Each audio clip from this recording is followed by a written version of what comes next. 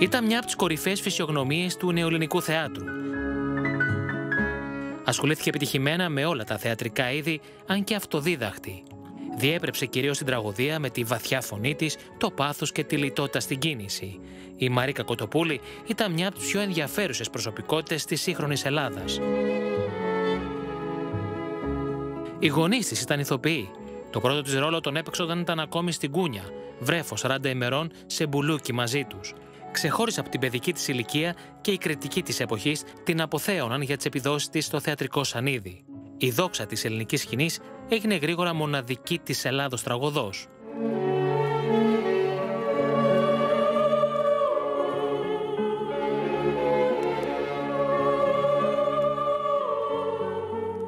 Το 1908 στην Κωνσταντινούπολη ήταν σε περιοδία.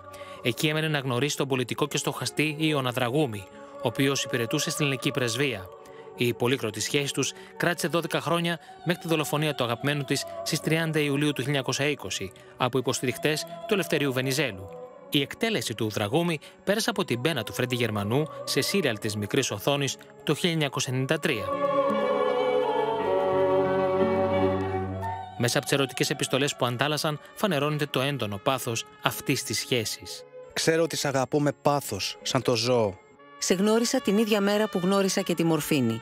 Ευτυχώς τη μορφήνη την έκοψα. Δεν μπορώ να κάνω το ίδιο και με σένα. Η απόφασή τους να συγκατοικήσουν έμοιαζε εκείνη την εποχή με σκάνδαλο. Ο πατέρας του τον αποκλήρωσε από την περιουσία, αλλά ο Δραγούμης παρέμεινε μαζί της.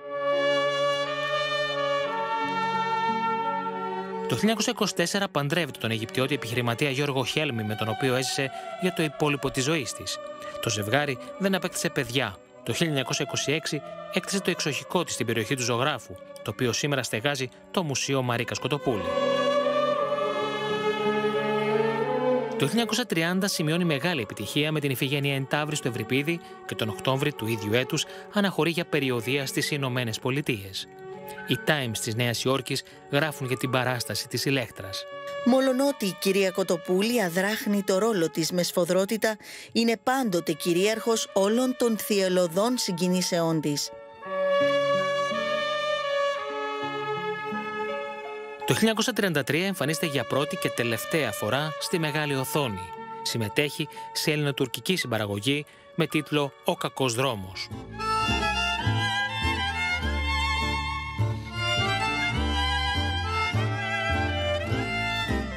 Ασχολήθηκε με πάθος στο θέατρο. Από τα χέρια της αναδύθηκαν μεγάλα ταλέντα όπως η Ελένη Παπαδάκη, ο Δημήτρης Χόρν, η Έλλη Λαμπέτη, η Ειρήνη Παπά, ο Μίμη Φωτόπουλος και ο Ντίνος Ηλιόπουλος.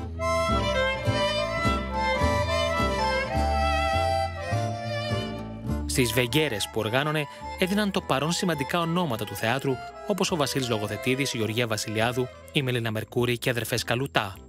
Κατά τη διάρκεια της κατοχής απήγε συνειδητά από τις θεατρικές παραστάσεις και βοήθησε αρκετούς αριστερούς συναδέλφου της που διώκονταν για την αντιστασιακή τους δράση, αν και εκείνη ανήκε στη δεξιά και υποστήριζε τη Βασιλεία.